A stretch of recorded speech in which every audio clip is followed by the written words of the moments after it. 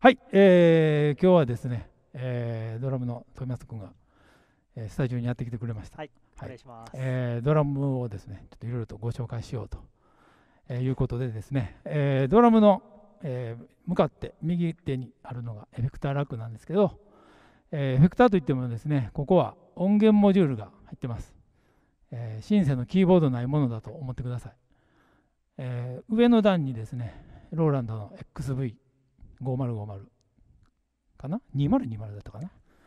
えー5050 5050ですね。はいで、その下に、えー JV の1080、1080っていうのが2台音源が入ってます。はいで、まあ、彼はこれを使って、えードラムでシンセを弾こうとはいいうことで、これが入ってます。はいはい、で、その下にはですね、えーパワーアンプが入ってて、えーこれですね、ちょっとカメラをパンして上向けてもらうと、ここにこうスピーカーがあるんですね。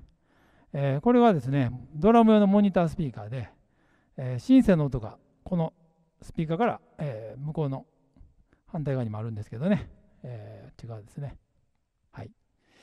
このスピーカーから、えードラムの、生のドラムが鳴っているように、同じような状態で、えーシンセの音がモニターできるように、えーこういうふうにシステムが組まれてます。で、ドラムはラックの、えーシステムのとこに、えーこういうパッドですね。はいはい。オクタパッドがあったり、えーこの右側にももう一つ、まあ、あるんですけど、えーこういう、まあ、構成になってます。じゃあですね、ちょっとこう、えー、トマツ君本人からですね、一応音を出して、ちょっと説明を簡単にやってみてもらえますでしょうかね。わかりました。はい。生のドラムからちょっとやりますか？生ドラムからはい。簡単に。はい。よっしょ。えー、そうですね。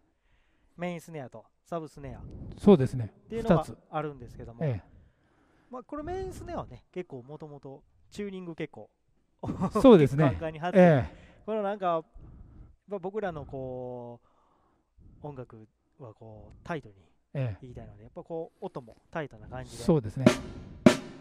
仕上がってますね。はい。でサブの方は最近えっ、と1年前ぐらいですか、そうですよね。はい。えこれをちょっとサブの方。はっていうのでこういうちょっとこの、えー、とジェルみたいなのを貼ってもうだいぶミュートしてちょっとこのローファイチックなサウンドがこうサブスネアで出したらいいかなという感じです。でそうですね。結構そうですね。あのバスドラもタイトに。これはえっ、とあんまり他のスタジオでは見れないインチがえ、そうですね。ちょっと小さよいサイズですね。これでえ何インチ、えー、20ですね。20インチ、はい。この20インチっていうのはえー結構いい、そうですね。なんかこうアイコラージュにはバッチリかな。バッはい。チリな感じで、ええはいで、サイズが、えーバスラは20で、えーまあ、スネアはどっちも14ですね。はいで、タムが、えっ、と、8、10、12、14ですね。そうですはい。結構小さいです。小さい、はいはい。まあフュージョンと言われればそうかもしれないですえけど、けどなんかやっぱりこの対抗じゃないとアイコラージュはーそうですね。出せないえという感じですね、ーはい。はい。で、シンバルは、えージルジャンの、で、チャイナですね。はいで、ここにこれがはい。あります。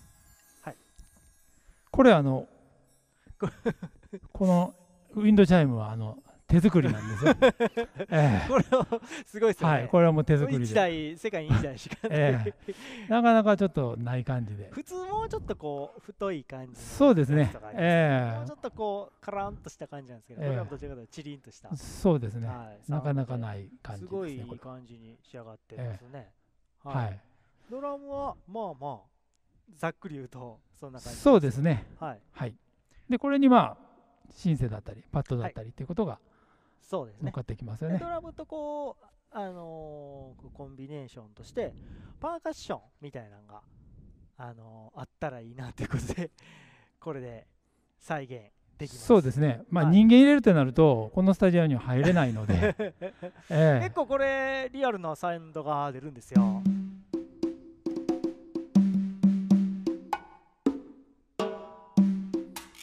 っていう感じで「はい、桜から」っていう曲でそういうサウンドがあるのでちょっと叩いてみてもいいですかね、じゃあちょっといきやってみてください。ますはい。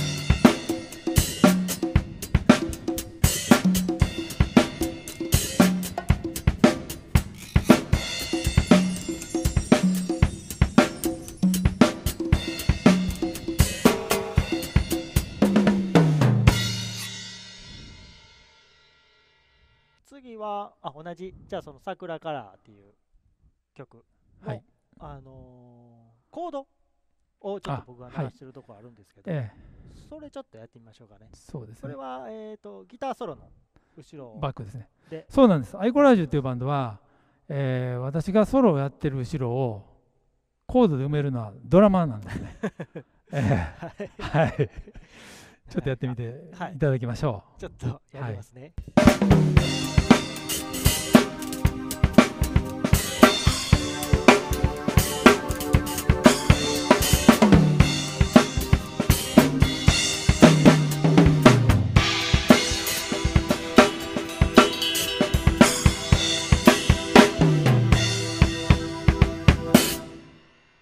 感じですね。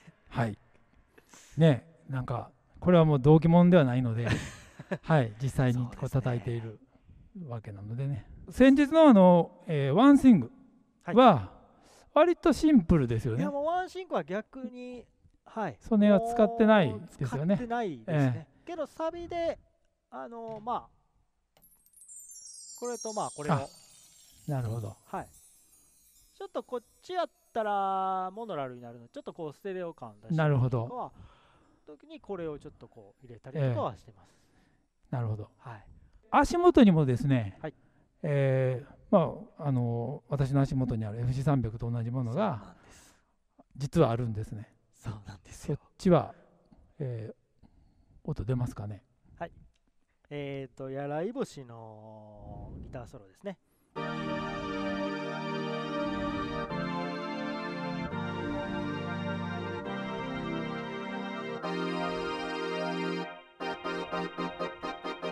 っていうのを入れてます。はいとやらい星のはいギターソロですね。はい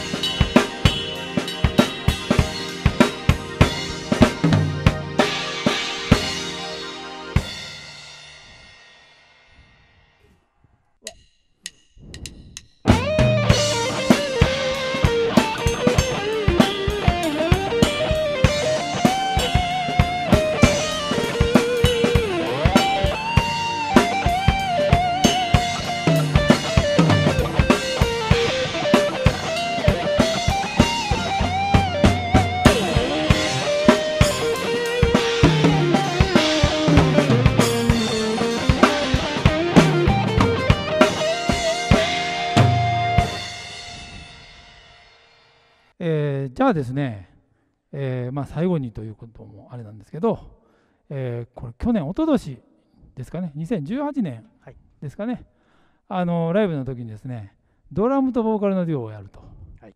い、うことで、えー、富松君が作った曲で、えータイトル。